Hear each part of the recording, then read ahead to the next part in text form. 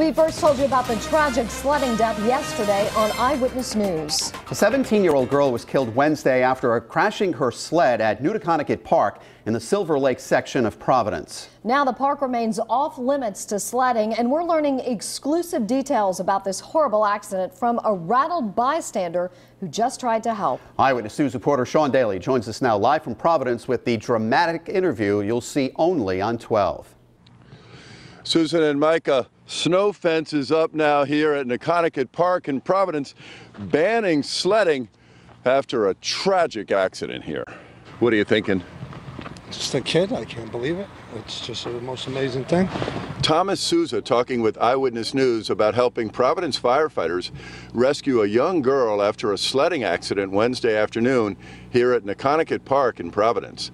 The police say 17 year old Alexandria Alvarez of Providence lost control on her way down the hill, hit a tree, and died. A makeshift memorial remembers her. And then I could hear the mother at the top of the hill, please help my daughter, help my daughter. And that Screaming? she was yelling for them to, to get up the hill, and the firemen moved as quick as they could to get up the top.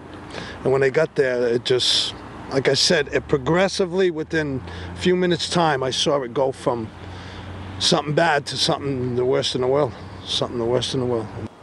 Thomas Souza was at the park when firefighters got there, so he gave a helping hand. My mother, my cousin, it's, it's something that you don't forget. It's something I, I'll never forget. And it's the third time it's happened to me in my life. Can't be good. Can't be good. I just, I, I say a prayer for the family is, is what I want to say. And, and they didn't deserve it. And that girl didn't deserve it. Just having fun. Look at the hill.